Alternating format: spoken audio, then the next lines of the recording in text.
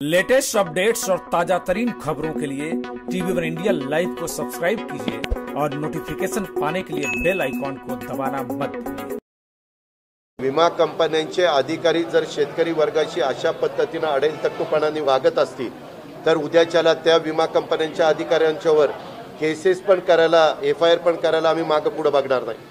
त्यांनी त्यांचं काम करावं योग्य पद्धतीनं करावं. आज शेतकरी अडचणीत आहे आम्ही हजारो कोटी रुपये पीक विम्याचे पैसे भरलेले. ते भरलेले असताना आज शेतकऱ्यांचं नुकसान झालेलं आहे.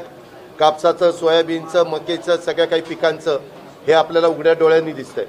मग असं असताना त्यांनी त्यांची जबाबदारी पार पाडली पाहिजे. आम्ही काही वेडवाकडं करा असं कदापि म्हणणार नाही. पण ज्याच्या ज्या नुकसानीमुळं विमा पीक विमा मिळू शकतो त्या माझ्या बळीराजाला त्या माझ्या कष्टकाराला तो त्याला मिळालाच पाहिजे तो त्याचा अधिकार आहे. जसे जसे त्या त्या जिल्ह्यातले जिल्हाधिकारी पंचनामे करून माहिती देत आहेत वित्त विभागाला मुख्यमंत्र्यांनी आम्ही सगळ्यांनी सांगितलेलं आहे ती माहिती आल्यानंतर ताबडतोब त्या त्या जिल्ह्यांचे पैसे रिलीज करा. विभाग वाईज वाट बघू नका.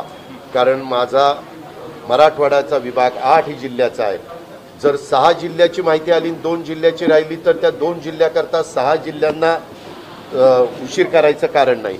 तीच गोष्ट माझ्या विदर्भातली एकीकडे पाच जिल्हे आहेत एकीकडे सहा जिल्हे आहेत आणि आपल्या उत्तर महाराष्ट्रात पाच जिल्हे आहेत. आणि आपल्या पश्चिम महाराष्ट्रामध्ये पण पाच जिल्हे आहेत. अशा पद्धतीची ही सगळी परिस्थिती आहे. त्याकरता जिल्हावाईज माहिती आली की असीम गुप्तांना पण सांगितले मदत पुनर्वसन खात्याचे मंत्री म्हणून तुम्ही ताबडतोब वित्त विभागाकडे पाठवा.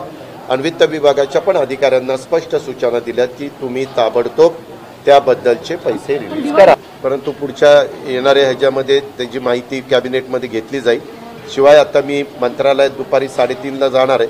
त्याही वेळेस मी असीम गुप्ता आणि वित्त विभागाशी बोलून किती पैसे रिलीज झाले किती राहिले आणि काय काय प- पाईपलाईनमध्ये आहे ते बघीन. पण माझाही हाच प्रयत्न राहील की शेतकऱ्यांना जेवढ्या लवकरात लवकर त्याच्यामध्ये सहकार्य करता येईल ते करण्याची भूमिका महाविकास आघाडीचं सरकार म्हणून आम्ही